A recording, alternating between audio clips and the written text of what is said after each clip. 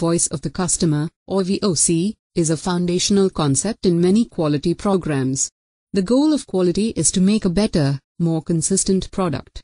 One of the ways you know you've reached this goal is that your customers will be more consistently satisfied.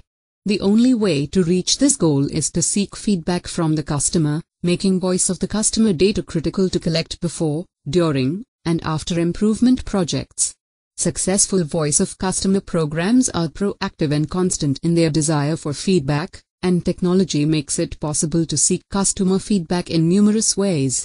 Some methods for capturing feedback include surveys via telephone, mail, email, or online, focus groups in person or online, interviews, beta or user testing, feedback forms, customer complaints, social media or site interaction, reviews, and forums. The voice of customer can be sought as a means to clarify needs and desires, clarify specific problems with the process, or as a regular part of improvement, customer service, and marketing agendas.